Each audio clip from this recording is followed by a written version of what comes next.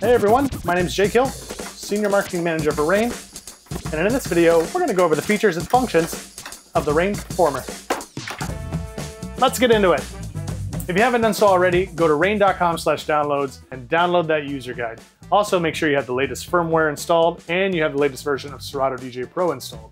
So we'll start with the platters themselves. So the platters are eight and a half inches as far as the platter itself, but the top is a seven inch acrylic disc and it attaches with magnets. So we see we have four magnets and then four touch points on the platter itself. And the first thing you're gonna wanna to do is kind of find your feel with the enclosed slip rings that are included in the box with your performer. So for optimum performance, try not to go over two slip rings so you can layer the plastic with the felt and, and so on and so forth.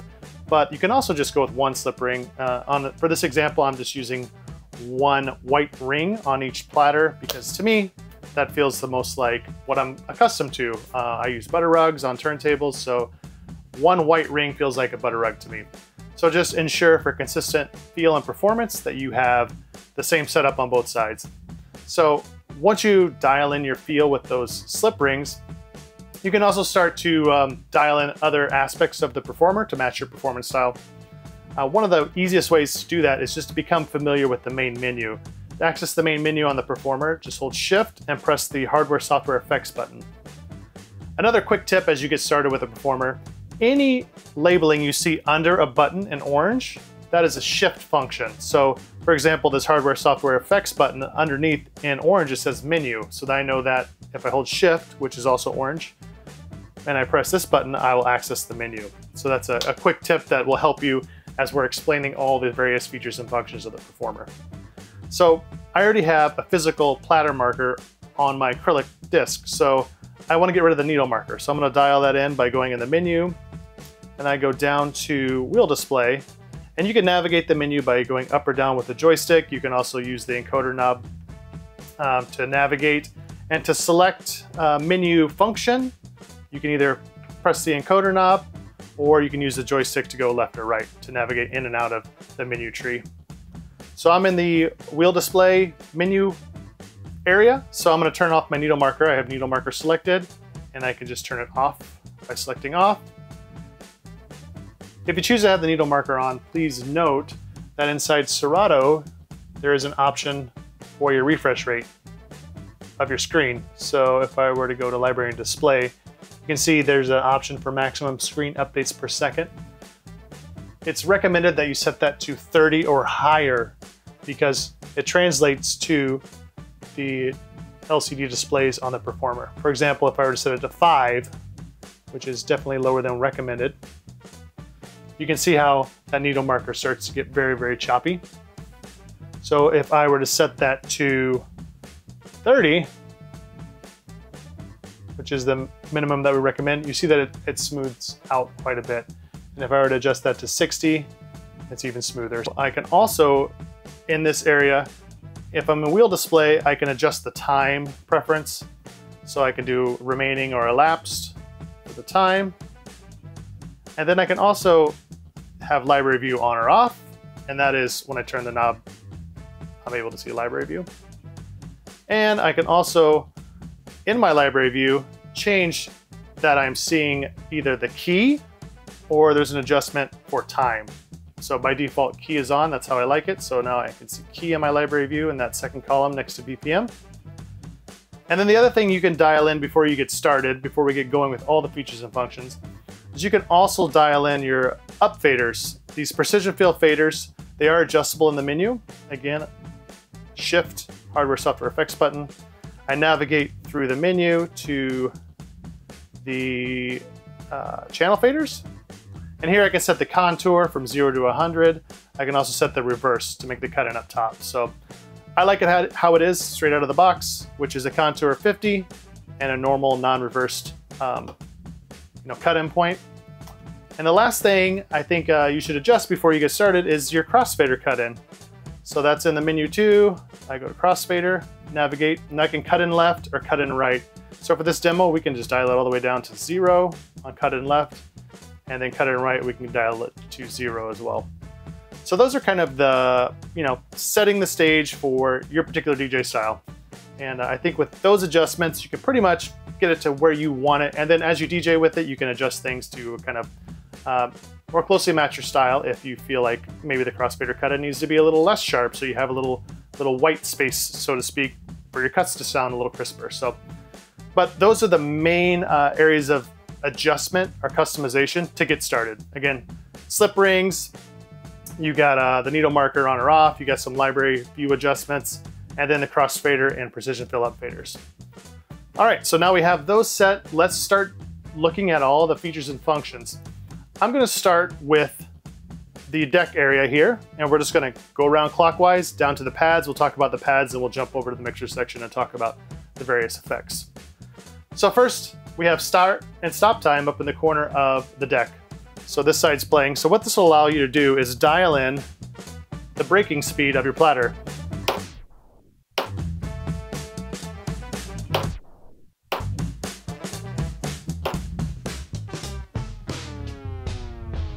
So if you want more of a uh, power down effect, you can turn the stop time all the way to the right. If you want more of an immediate break, you can turn it to the left.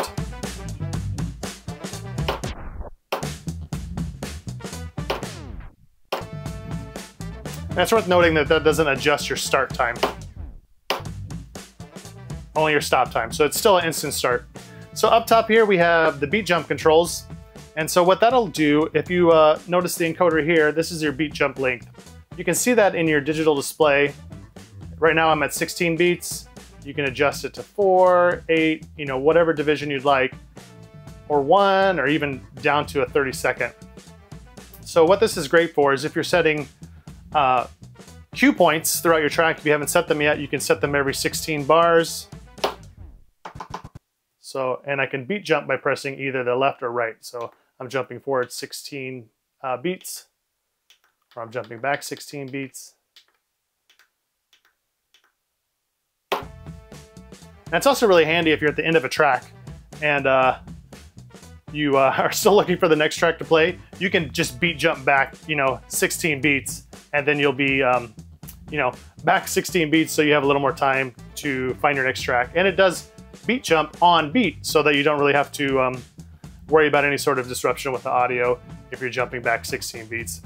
And then beneath that, again in orange, you'll see it says display mode. So if I were to hold shift and cycle through, I'll cycle through the various LCD display modes.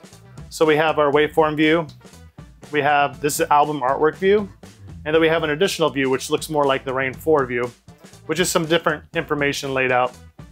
For the most part, the center display will display a lot of the same info. We have our beat jump length in the upper left-hand corner. In the lower left-hand corner, you have your loop length. So uh, you can adjust that. You know, you can see as I'm adjusting the loop length, you can see that adjusting. You have your key in the lower right, you have your time at the bottom, your BPMs at the top. And then in the upper right-hand corner, you have your pitch. So right now we're at plus or, plus or minus 8% for our pitch, and you can see as I adjusted it, adjust the pitch.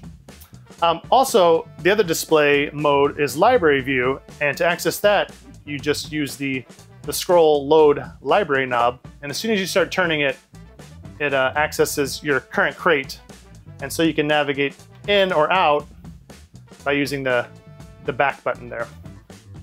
And you also can enable day mode. So day mode, adjust the display to include day mode on or off. Next, uh, another use for the uh, beat jump length encoder is to scrub forward or back in a track. So you would hold shift and then you'd use this encoder if you needed a fast search, kind of like the old strip search, you can uh, do that. But it's worth noting too that this only works if you have your sync enabled inside Serato, uh, and that is in this setting right here. Go to DJ preferences, and sync, if you had sync off, it wouldn't work uh, that, that, that scrubbing of track would not work. You have to have simple sync or one of the other sync options selected. Okay, moving around, we have our slip mode. And so what this does, it allows you to manipulate the platter without it losing time in the track.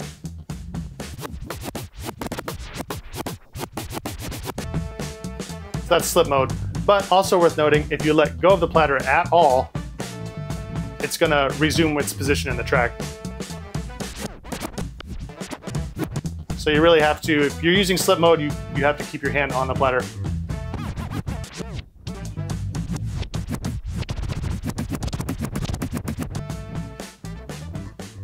Okay, now the shift function of the slip button is motor on or off. So then the surface becomes more of a pitch bend versus a scratch surface.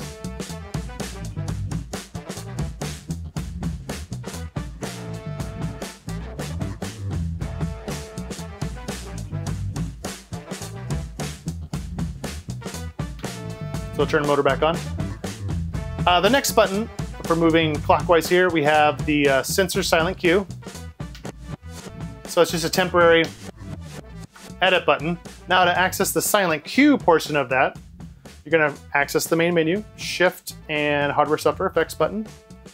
So I'm in the main menu.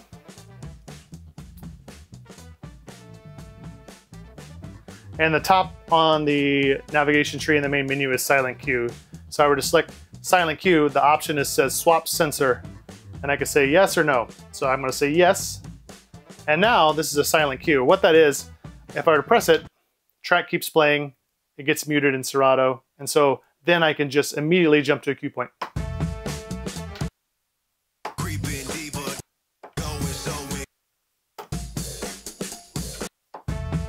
And so that is silent cue. And the shift function of silent Q is reverse, so that'll reverse the platter.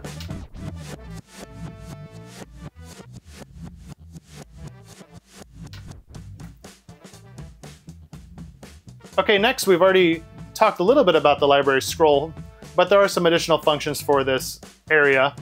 One is the shift function of the back button is to load it to your prep crates. So in Serato, you have a prepare crates. So if you're uh, going through and you find a song and you're like, oh, I want to play this, but not quite yet, you can load it to your prep crate. So I just select it and I hold shift and press this button and it adds it to my preparation crate. There's also instant double. If you were to double tap this, I'll do it on this side. Let's load something else.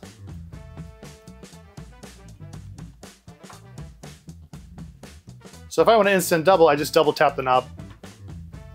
And that brings it over to the other side. So that'll bring over the same track, the same tempo, the same place in the track. So if you want to do a quick juggle or just get back over to the other side to free up your right deck, say you like to scratch with your right hand, you can you could just instant double it to the left or right. So that's that function. It's just a double press of this. And then below that, we have our stem split section and deck selection buttons. So I'll talk about stem split in one second, but for deck selection, it's pretty easy. So we have four decks on the Rane Performer. And right now I'm on deck two. So that's playing here, you can see deck two. If I wanted to load something to deck four, I would just select deck four. And there's no song loaded, so. And I select it on deck four. Now I can go back to deck two, I see it's still playing. Then I have deck four here.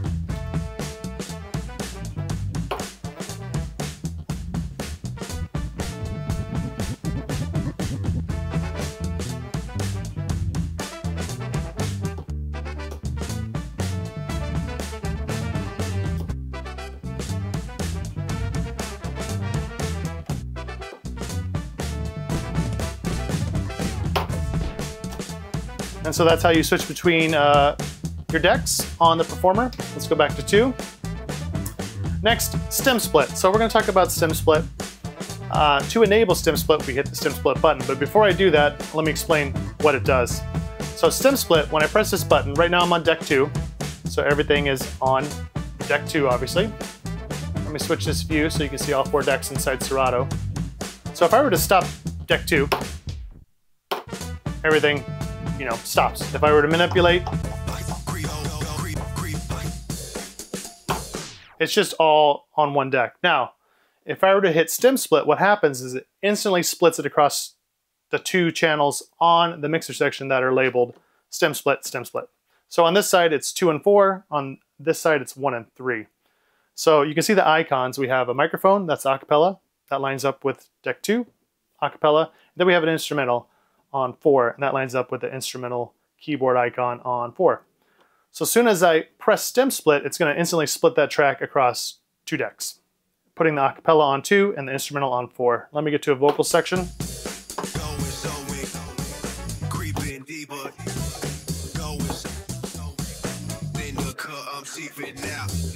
And so then I can add effects and things like that to um, just one of the elements.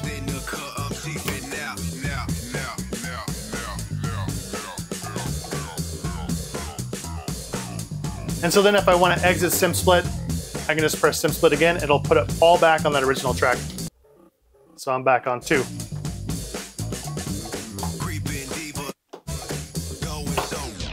So that is stem split. And we'll get into that a little more in detail when I talk about all the various stems modes of the Performer. Next, we have the uh, pitch range button. What this does, if I were to select and press the button, it adjusts the pitch range of the pitch fader. So right now I'm at plus or minus 8%. That means if I go all the way up, it'll slow down minus 8%. If I go up, it'll go plus 8%. Now I can adjust between plus or minus 8%, 16, and 50.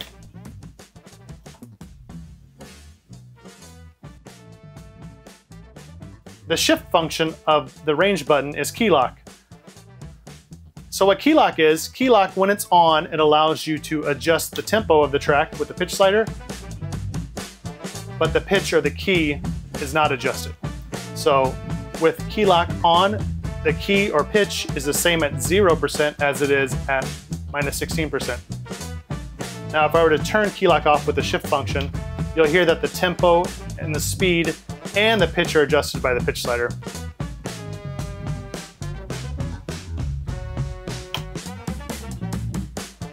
Turn that back on. And then next down we have the pitch slider and that is uh, you know how you adjust the speed or pitch of your track why you would use this, if you have a performer, you probably already know, but this is to adjust the tempo of your track so that you can mix things together by aligning the BPMs. For example, if um, we have a track on one side, let's see, okay, it's 117, and we need to match it to 120, we would adjust the pitch slider. In this case, it's a little less than 3%, and now the tempos are aligned.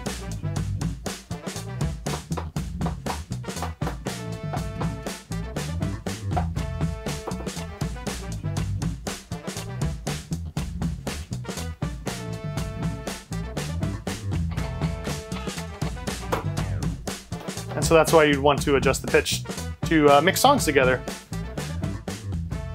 Below the pitch slider, we have the pitch bend buttons. Now these are great to nudge the track in speed, you know, up or down if you're mixing. So why that would be useful if you're you dropped another track and you're mixing it in and you didn't quite get it on the one, you can adjust it, nudge it into place, or if it's too fast, you, you dropped it in too early, you can pitch bend it back. Or if you're playing a track that isn't perfectly, you know, beat gridded or doesn't have a perfect tempo, like something with a live drummer, as you're mixing, you can use your ear to listen for when things drift out of alignment and you can nudge them with the pitch bend buttons. You can also, if you're more of a traditionalist turntablist, you can drag on the platter or nudge on the platter. Now the shift function underneath these is adjusting between 33 RPM and 45 RPM.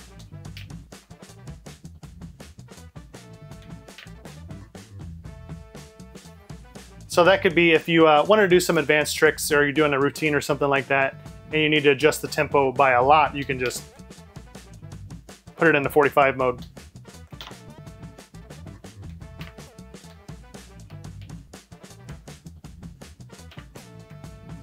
And so that's the shift function of those pitch bend buttons. Below this, we have the key adjust buttons. Now this will adjust the key of the track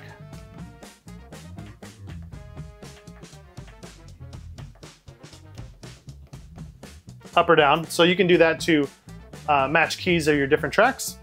But you can also key sync by holding shift.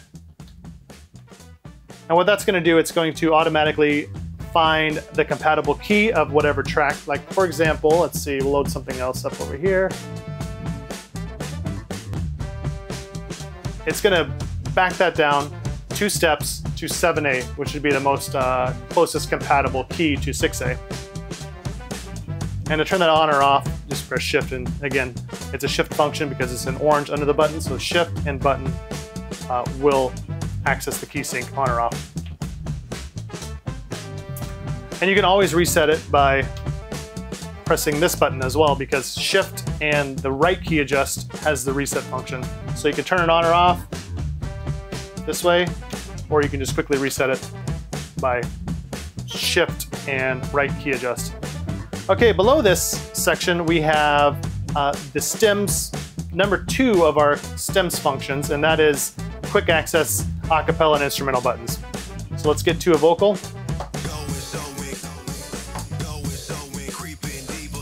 So if I just press the top one, it's just acapella.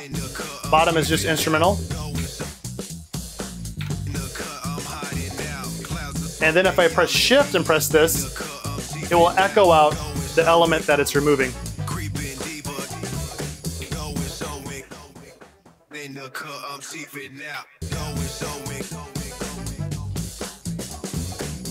If I were to press shift and instrumental, it echoes out the acapella as it's removed. And if I were to press shift and acapella, it echoes out the instrumental as it's removed. Okay, next we're gonna talk about the looping section. So the looping section has three buttons. We have loop on or off, that's the top button. And then we have the bottom buttons, which are halving the loop length and doubling the loop length. So before I would set a loop, I can adjust things and I can see them in the display how long the loop's gonna be. So if I only want four beats, and I can also, when I'm active in my loop, you can see that the button is lit up. I can half that loop by pressing the half button or lengthen it by two times by pressing the times two button. Now, the shift function of the top button is reloop. So if I hold shift and press this button, it's gonna jump to the beginning of the loop on that first beat.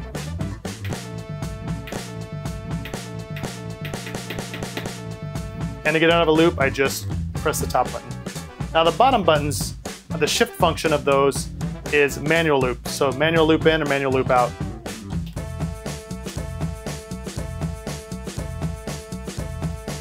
Then if I need to manually adjust that endpoint, I can just press shift, press this loop out button, and then I can adjust it with the platter, and then press it again.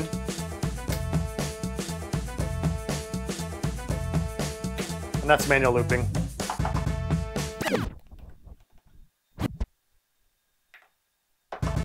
All right, now we get that loop going again.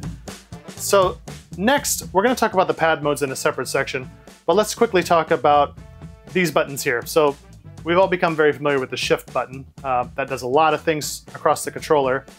But let's also talk about sync, cue, and the start stop button. So sync, obviously, if I have sync enabled in Serato, if I were to press sync, it's going to sync the tempo across the tracks. So for example, on the left deck, the BPM of this track that's loaded up is 115.7 we're at 120. So if I were to sync on this side, it's gonna sync it to 120. And so that you see that the, the BPM indicator is lit up in blue. That indicates sync is active. So then now that I'm sync, the tempos are matched automatically. Now, if you want to turn sync off, it's a shift function, shift and sync button goes back to blue. You would have to do that on this side as well. And then sync is off. Now below that is your, your cue button. So the cue button is a temporary cue point set in the track. So for example, this track, if I were to stop it,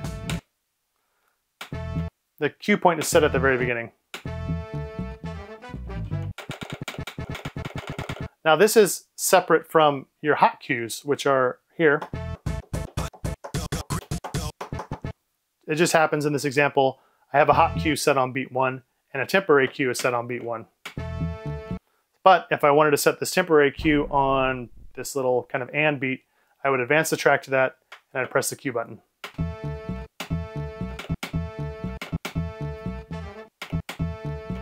Okay, and then also a nice little trick, if you're starting from any of your cue points, and you want the song to keep playing, obviously if I am just holding it down, it's gonna keep playing. But if I want it to keep playing without me holding down the button or a hot cue button, just press the start stop button as you're pressing the Q button and it'll keep going.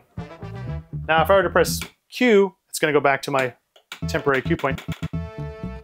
But if I were to pause it and press Q, it's gonna set my temporary cue point where I pause it. And then if I'm somewhere in the track, anywhere in the track, and I wanna go back to the very, very beginning, a quick shortcut, it's a shift function of the Q button, is to hold shift and press Q. And it goes back to the very beginning of the song, regardless of where that temporary Q button is set. And so that is the uh, Q function, the Q button. Next we have the start stop button. Pretty self-explanatory. It stops or starts the track. But if you hold shift while the track is playing, you can uh, use this start stop as a stutter.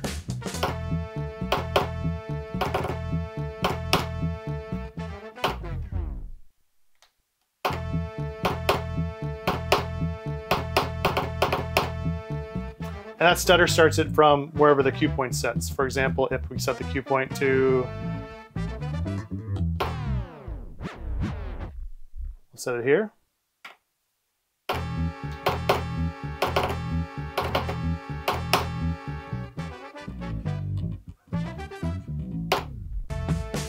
Up next, let's take a look at the performance pad modes.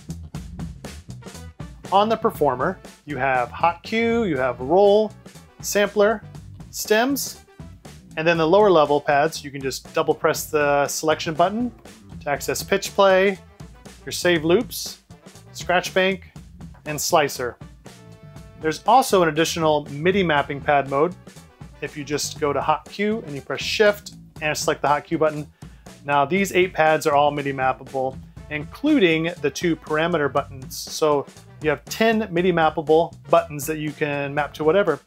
If you want to use a SoundSwitch with Serato, you can actually MIDI map these pads to SoundSwitch controls. So you could black out your lights, you can strobe your lights, you can change um, different static looks just by MIDI mapping them to SoundSwitch. So while you're performing, you can just switch over and then trigger your lights from the performer, which is actually really cool. Okay, there's also the ability to do a split pad mode. So any one of these top modes, hot cue, roll, sampler, and stems, you can layer up with the bottom pad. So whatever you hold first, so hot cue, and then you press stems, the first, the top row of hot cue pads will show up top, and then the bottom row will be the, the top row of stems pads. So these are your different elements.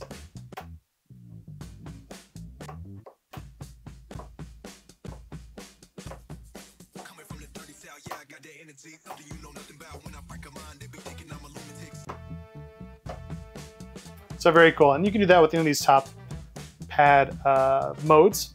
So I can do roll on top and hot cue on bottom.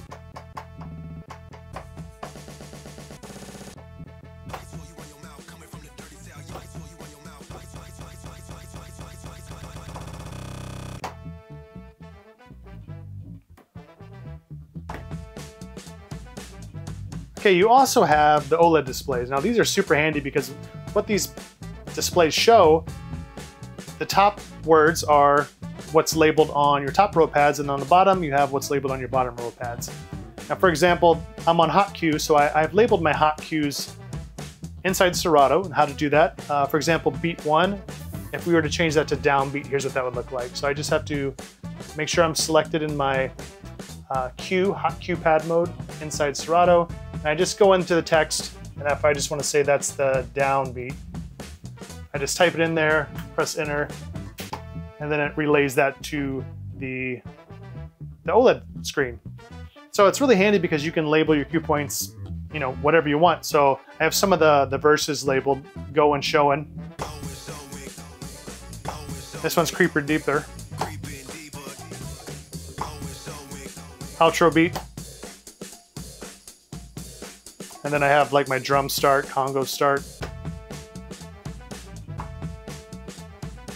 So it's nice. And then there's a save loop mode here where you can also label your, your save loops. So for example,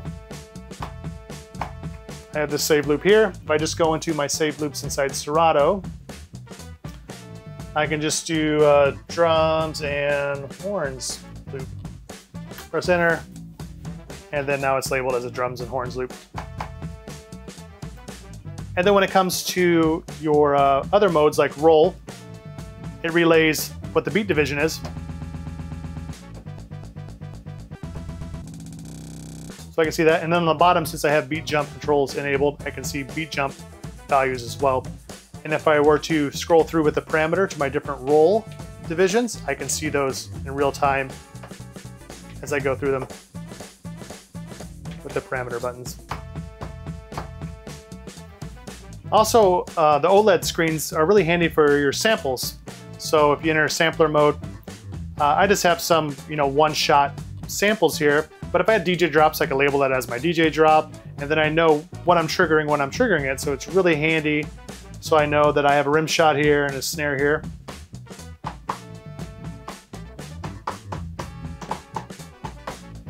So very, very handy. The OLED screens are a game changer as far as DJing it, uh, as far as I'm concerned. And then when it comes to stems, I can see the various elements aligning with my stems pad mode on the OLED screen. So vocal, melody, bass, drums. And then I have the labeling of the stem effects below. So if I were to go to, I know vocals here, take it out, take out the bass, take out the horns, bring everything back in, vocal echo out.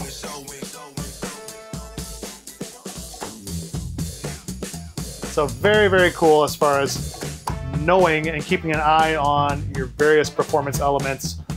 All, you know, at a quick glance, really handy for routines and just DJing out live in general. Okay, so now let's just dive into some of these pad modes. Uh, pretty easy stuff. We already talked about the MIDI mode, which you can access here. But hot cue, that's where you can set your hot cues throughout the track to quickly jump to them. And then uh, to delete a hot cue, just hold shift, press the pad. But then I really want that back at the uh, beginning. So if I want to add it in, I just go to the beginning and I just press the button. And I'm back in there. And again, if I want to relabel that, I want it to say downbeat. I just go inside Serato, type in downbeat, hit enter, and then it's labeled. So that is the hot cue mode roll mode. That just lets you do different beat divisions of your rolls with the pads.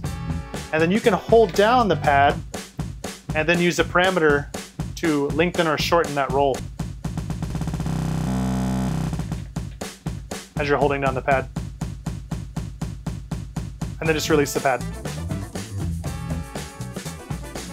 Next, let's look at sampler. We already kind of talked about that. You can label your samples inside of Serato.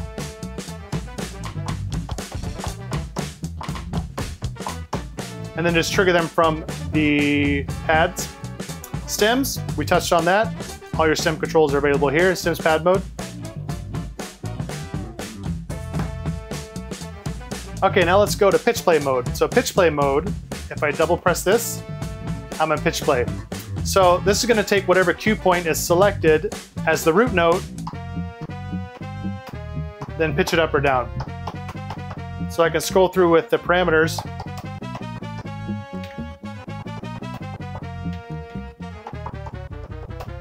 for different semitone amounts. And then I can select the cue point that's used for pitch play by holding shift and you see these are all lit up as the cue points. So if I want to do it as the go and show in,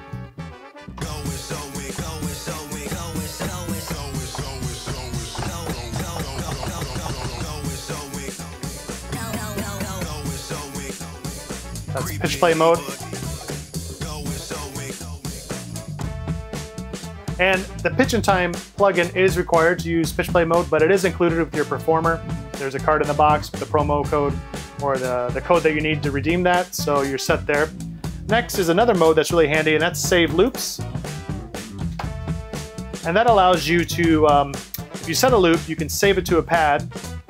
For example, let's exit this loop, and I'm just gonna set a one beat loop, and then I can just select an unlit pad, and that's gonna save that loop. And again, I can go in Serato and name that loop, but when I have it lit up in blue, that, that loop is selected. When it's in green and I press the button like that, makes it green, that loop is not selected. But I can quickly jump to a loop by holding shift and pressing the button. I can jump between loops.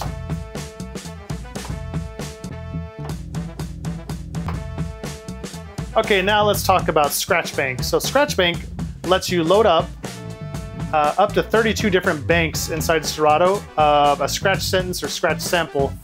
And how that works, so I will open up, let me just close out samples. So if I open up Scratch Bank, you'll see all these slots. And then I can load up any track by just dragging and dropping it. And then it gives me the option to set the cue point that I wanted to trigger from. And so let's just do Q1 here. And so what that does is when I'm in Scratch Bank, I select it, I'll instantly pull up the, the scratch track that I've set in Scratch Bank and it'll fire off from the sample that I've selected. So for example,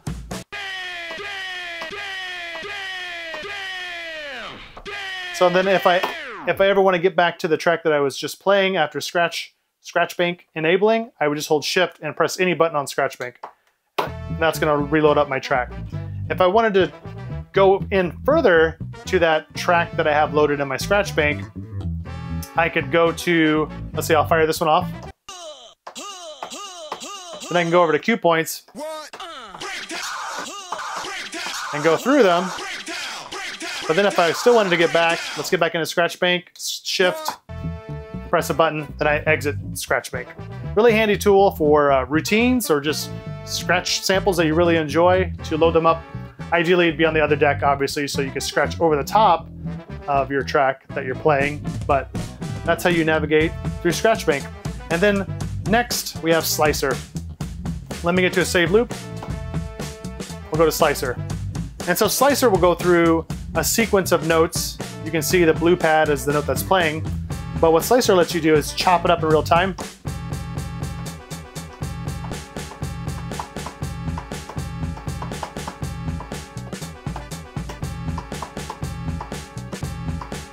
You can hold it down, and then with Slicer, you can also use a parameter buttons to shorten that or lengthen it.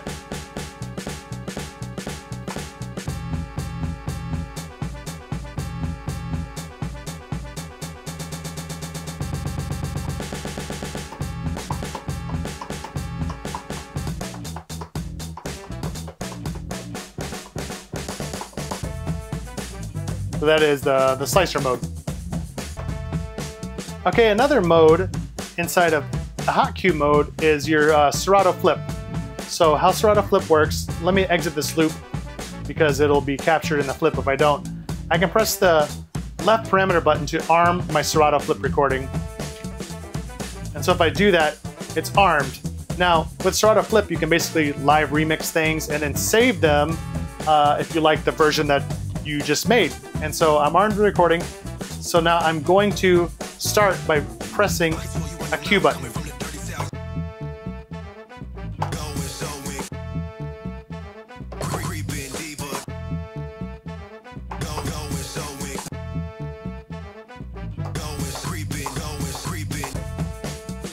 Okay, so then I just, I did a, a few different cue points, and then so since my Serato flip was enabled, it captured all those. And inside of Serato, you can see you have an active flip recording because the play deck is lit up in red.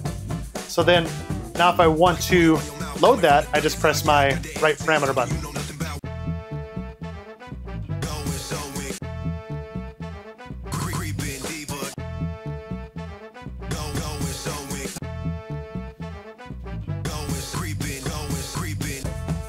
And so that's my flip recording. And if I wanted to save that, I would just go to my uh, flip section here, and then I could just label it here and uh, call it whatever, Jake Flip. And then I can access that, you know, anytime I load the track, I can play from my flip, and you'll see it in the in the title here. It says Jake Flip, so I know what I'm playing. So yeah, pretty cool little function. And again, that's in uh, hot cue mode, and your left parameter starts your recording, or triggers your recording, and then it goes as soon as you start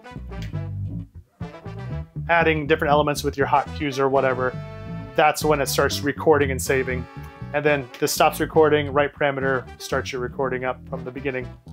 So that is Serato Flip. Now we're gonna take a deep dive into the effects. The Performer features four knob-controlled channel effects, filter, filter roll, noise, and flanger.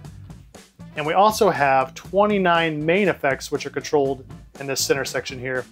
So in the main effects section, what we have, we have six quick selection buttons. By default, we have echo, recycler, scale down, reverb, matrix, and echo out. And on each side, we have a parameter knob on the left. This can be used to uh, scroll to various functions and settings for each effect, but it can also be pressed to cycle through available options on that selected effect. On the right, we have the joystick, which can be used to control the beat divisions or other parameters of the effect, and also select the BPM that the effect engine will operate on. For example, right now 120 selected, I can select 99 on this side for that particular effect uh, to operate on. Now, the aluminum toggles, that's how you engage the effect. On, on each side, you have the effects select buttons. On this side, we have channels two and four. I'm on two right now, so if I wanted to engage an effect, I would select two and flip the toggle, but I can also switch over to four. And on this side, it controls one and three. Now, I definitely recommend going to rane.com slash downloads and grabbing the user guide because there's an in-depth effects section that goes through all the different main effects and the parameters and the description so you can really get an idea of what each effect does. But for this demo, let's start by looking at echo on the main effects. So echo, for example, the parameters that you're able to control, you have the high pass frequency cutoff. That's controllable by scrolling with the encoder. However, if I were to press the encoder, I have the ability to adjust the feedback. So for example, if I want to put this at 90 and the high pass frequency cutoff at 1308 hertz, the right will adjust my beat division of the echo. So I can go, let's say half. And to engage that effect, I can flip the toggle up. That latches it on. Or I can temporarily engage the effect by pressing the toggle down. And the depth knob controls the amount of effect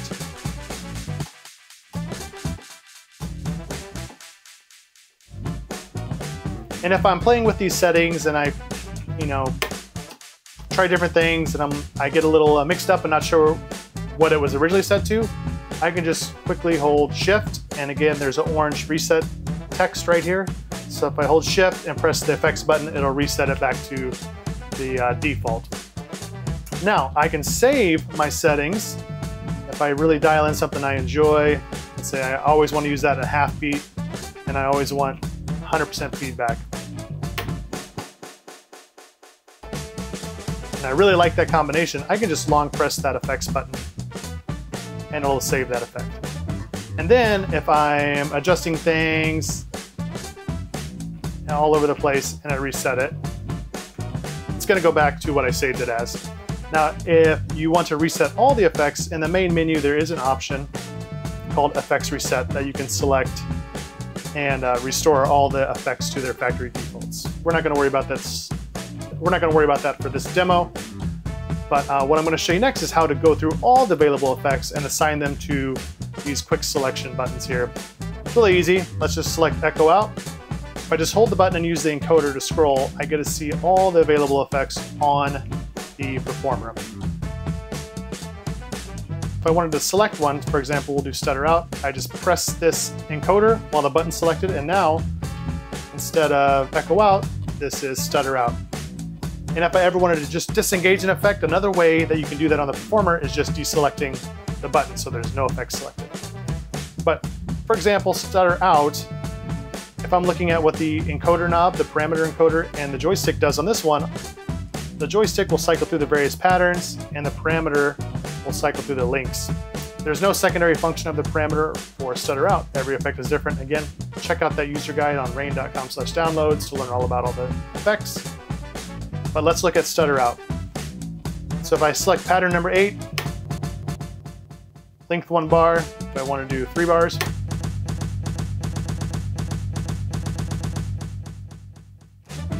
select a different pattern, dial a different length.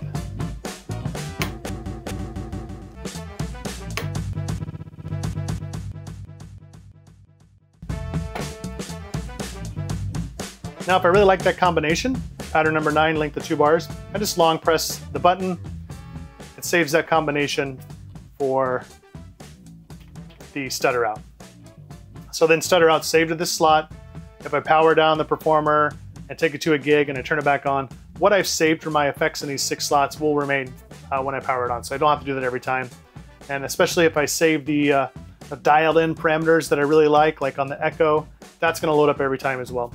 And then if I ever just want to start fresh, I can just go into that main menu, select the factory reset, and reset everything back to its factory default. On the Performer, we did port over the fader effects from the Rane 70 A-Trak Signature Edition mixer. And so those are worth going through here because there are some interesting things that you can do. First, you have the option in the menu to enable or disable the fader effects. So there's an option called fader effects. I can turn it on or off. Why would I ever want to reduce the amount of effects that I have at my disposal? Well, there's a good point uh, for that because I'll show you in a second. With fader effects, due to the nature of taking over the precision feel faders with the effect, there is a bit of a, a workflow change that you need to be familiar with. Okay, so let's select a fader effects. And you can see that they are identified by having an FDR at the beginning of the name. So on the performer, we have fader filter, fader pitch, fader ring modulator, and fader roll, and fader tone generator. So there are four different tone generators included in that. So for this example, let's do fader roll. I'll select it. Now, see it's flashing. That means the fader effect is active. And why this is important, because as soon as you engage a fader effect on the selection buttons, and I'm not even talking with the toggles, as soon as it's selected on the selection buttons, all channels go to 100% volume, as if the faders were all the way up. So as you can see, this has no control over the volume anymore, because this volume fader is now used to control these fader effects. So this is important because if you have, say your crossfader in the middle like this, and you're playing a track on this side, let's deselect that fader effect so I can show you. And I have my volume slider down, so I, I'm good, but as soon as I engage that fader effect,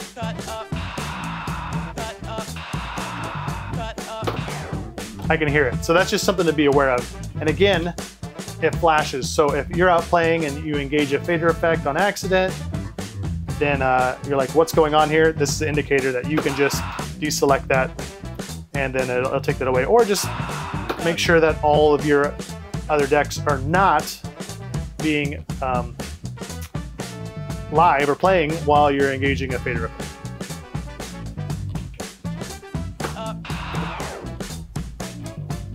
So now let's take a look at this fader effect. So again, we have the fader roll. How this works is now when I trigger the toggle, I can use this up fader to control the roll.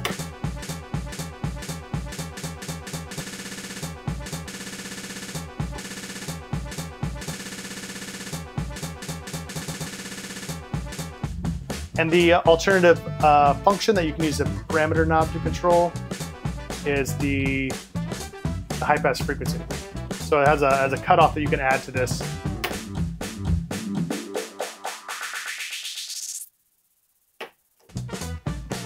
So that is the uh, fader effects for the roll. We also have ring modulator,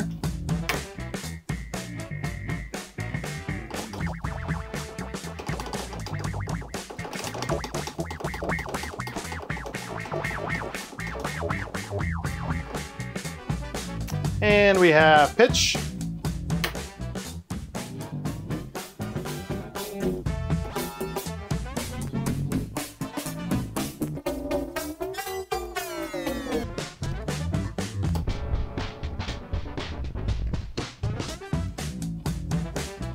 And a bunch of features on the tone generators.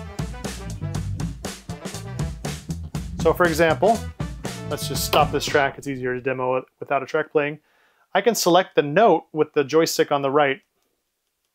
And on the parameter knob, I can use that to select the type of tone.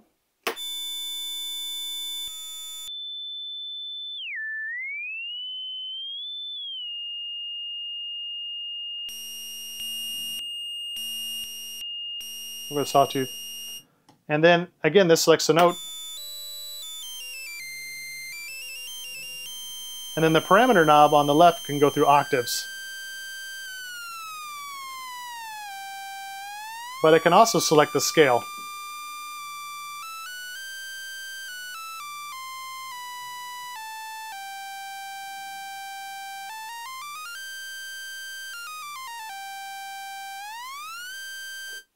And then you can use the toggle to play it if you like.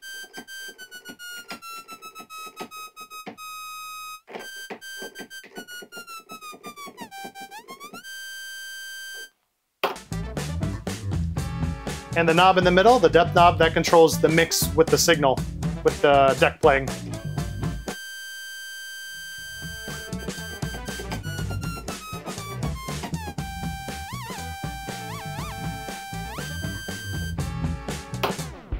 And those are the fader effects. Now let's move on to the channel effects. Now by default, it's set to filter. If you were to have an external input hooked into the either the line or phono in, these channel effects, since they are software effects, they will all default to filter. The main effects, however, will work on any external input. So if you have a turntable or some sort of media player inputting signal into the performer, you can still use your main effects to control that. Even things like the hold echo uh, and things like that will sample that input and apply the effect to it. But for the channel effects, it will just default to filter by default. And so let's just go through these. We have filter, filter roll,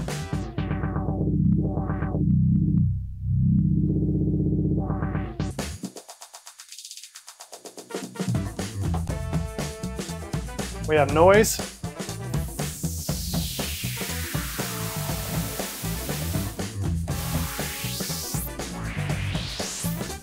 And you have your flanger.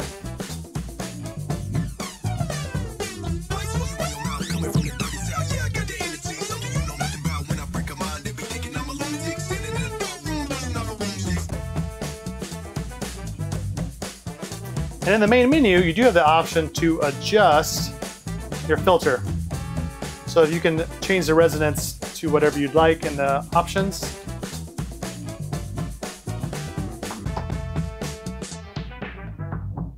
So you can dial it in and give it more or less resonance.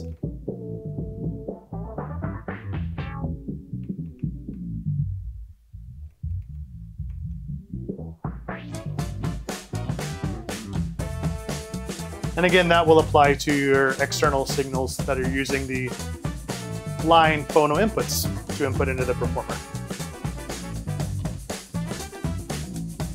And you can also combine your main effects with the channel effects. So if I'm doing, uh, say, noise, we'll do it on two. And I want to echo it out. It also echoes out that, that noise as well. Let's say we'll do a filter roll.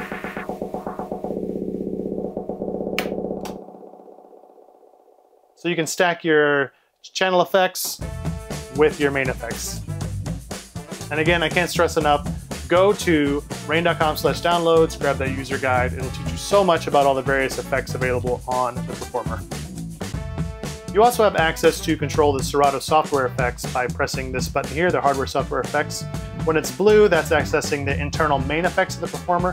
When it's orange, that means it's controlling the software effects inside Serato. So you can adjust your effects with the drop-down inside Serato to put them on various positions inside of Serato, which will coordinate with the quick selection buttons. So this echo button, if I wanted to be the uh, distortion effect, for example, I would select that there. Second one, it's set to delay automatically. Reverb's the next one. Uh, low pass filter. And then we have also another delay and a reverb on this side. So then to engage, I just select the button and then I hit the toggle. That's the distortion effect. This one's delay. And the knob affects the wet dry of the selected effect. And then to toggle back to your main effects, you just press the button again, we're back to our internal effects. Now let's talk BPM. in the middle here on the OLED screen, you see that we have two BPM numbers. We have 120 for the right side and 99.9 for the left side. Now that is what corresponds to the speed of the track that's loaded. The value is taken from Serato, then adjusted based on the pitch. Why this is important is this is the BPM that the effect will use when triggered. So for example, we have 120. I'm gonna select echo. We'll do We'll do keep it on half. And if I trigger it, you'll notice that it's set to the BPM. So if I did it as two,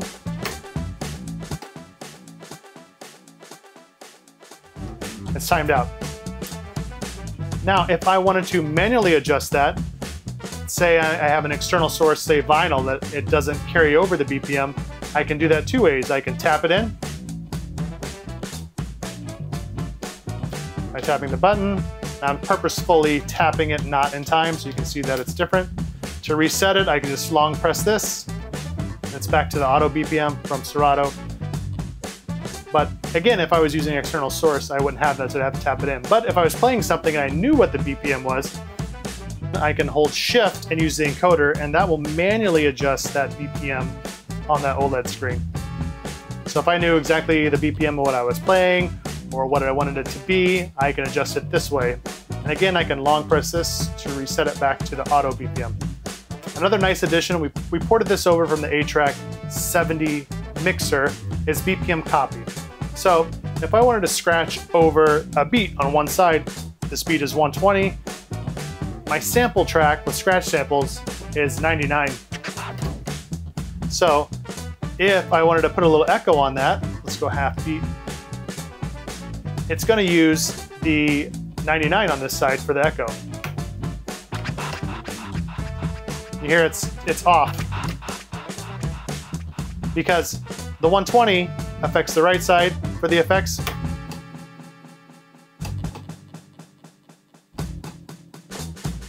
But the BPM on the left side affects the effects engine for 1 and 3. So it's off. I can quickly copy that over by pressing shift and tapping the joystick to the side that I want to copy the value over to. So I'm selected on 120, I press shift, and it immediately copies over.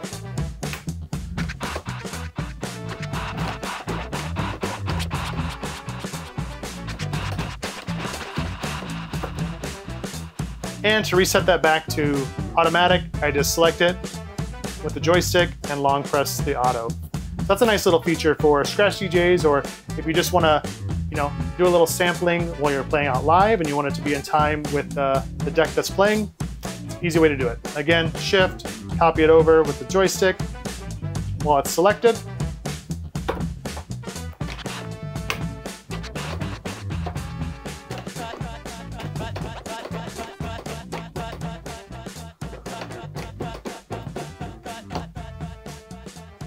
Very cool stuff. Okay, now let's take a look at the mixer section. Since the Rane Performer is a four channel motorized DJ controller, there are four channels. So you can see that they're numbered 3124, that aligns with the numbering inside Serato. And four and three are also switchable to uh, line or phono input. And so you can see that if I'm on deck four here and I switch it to line, there's a notification, uh, an indicator on the screen that that's a line input. And then up top are sources. So we can attach two laptops to the performer. So you can DJ with a friend or have a backup laptop. So this is a, a selectable assignment switch here. So right now I'm in the uh, computer input A, but if I were to switch it over to B, that would be uh, connecting to laptop B. So let's switch it back over to A because that's where we are. And then also we have the gain knobs on top and then the three band EQ. So the three band EQ can be switched to control stems with stems level EQ. And here's how you access that. Let's get a, uh, a track going with the vocal.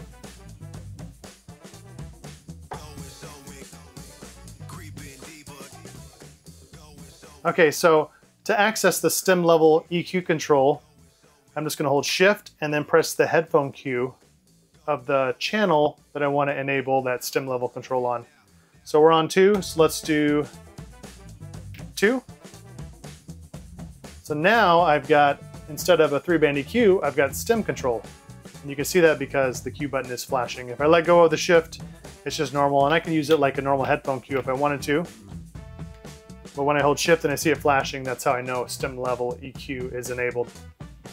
So then instead of a three band EQ, what we have here is uh, we have vocal control, melody control, and drums.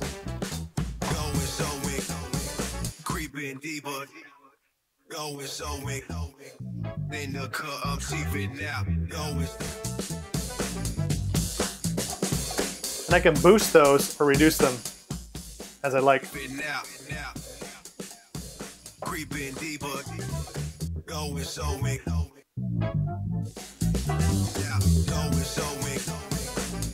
And then to get it back to just a normal three band EQ, hold shift and press the button.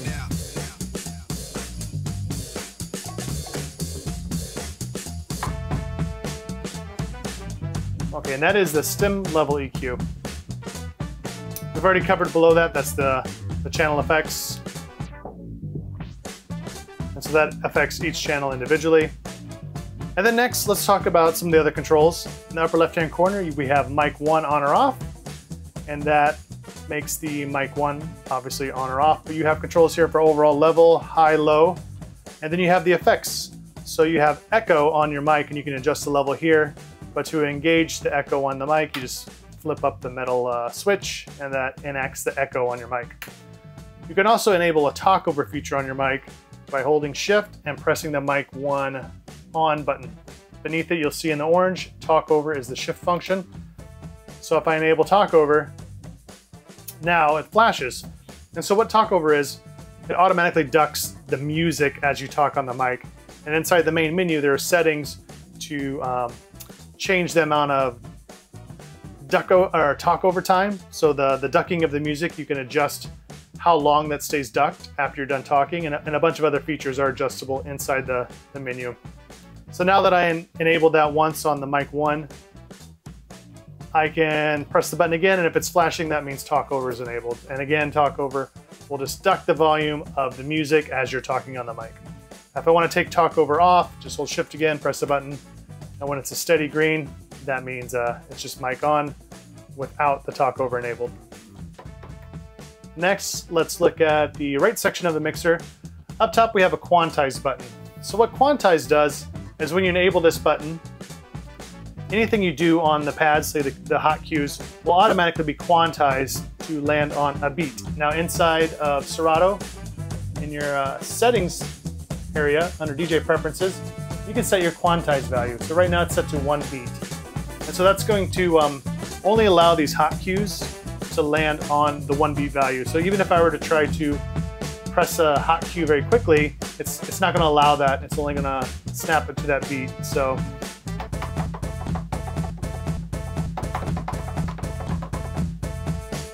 And then you can adjust that to, uh, you know, half beat, so land on the half beat.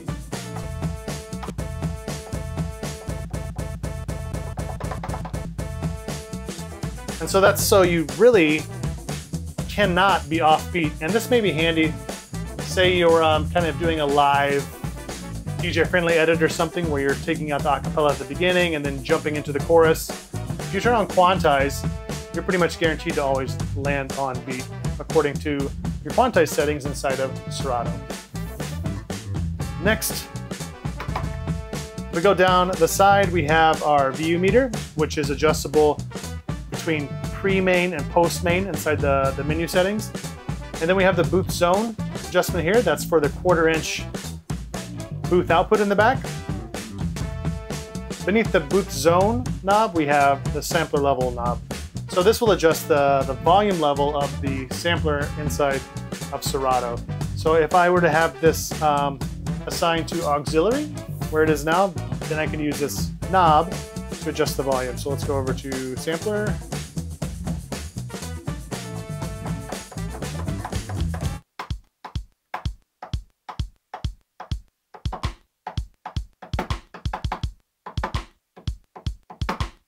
And so that's the sampler level knob. Now, alternatively, I can assign the sampler to deck number four by pressing this button. Now,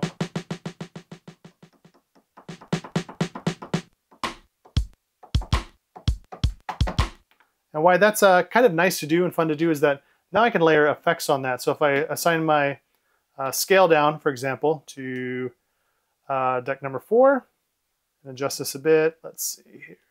We'll go eighth.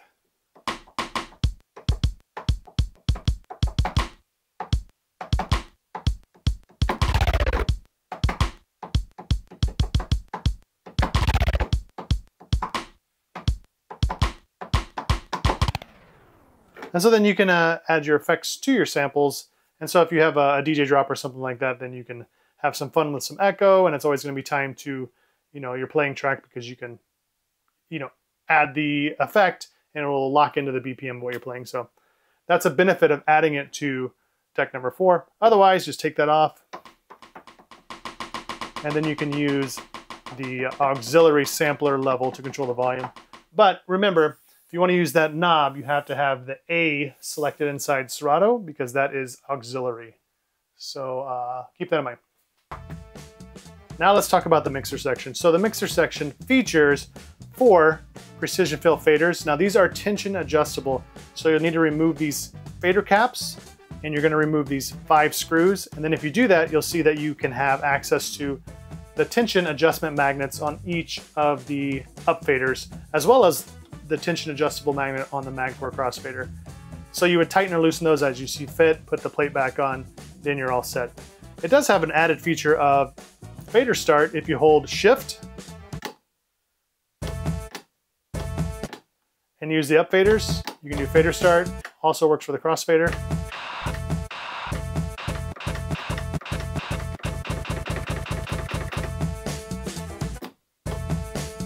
And again, that's hold shift and then you have fader start. The crossfader section features a external tension adjustment knob so that you can loosen or tighten the resistance of the crossfader. It also features a curve adjustment knob so you can have it sharp or a smoother mix. Then it also features on the front crossfader assignment switches. So this allows you to put any of the four channels on the right side of the crossfader, on the left side of the crossfader, or you can just bypass the crossfader altogether so that it has no effect.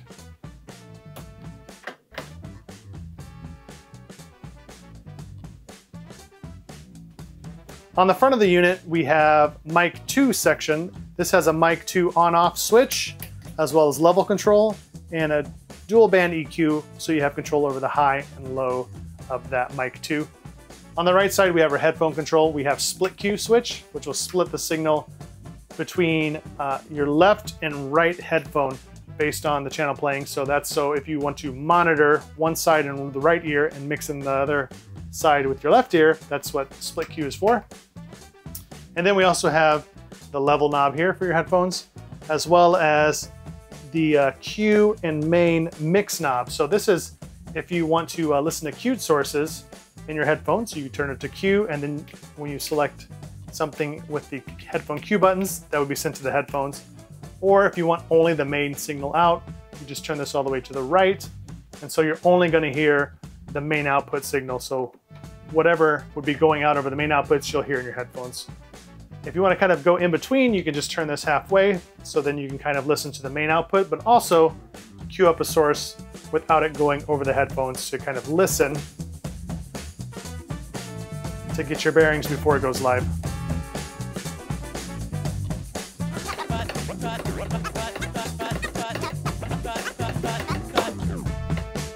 So that pretty much sums up this feature overview video for the Rane Performer. Remember, go to rane.com slash downloads, grab that user guide, get familiar with it. If you have questions about the Performer, just drop them below in the comments and we'll do our best to answer them for you. Thank you for watching.